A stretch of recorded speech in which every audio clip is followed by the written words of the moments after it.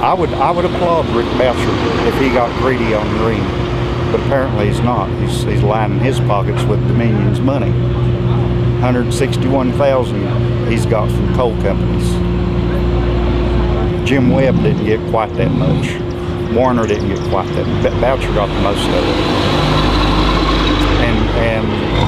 We're going to pay for him to have health care the rest of his life and an income the rest of his life. And there's people here that can't even go to the doctor because they don't have insurance or they don't have the money. Some of them probably don't even have gas to get to the hospital. You know?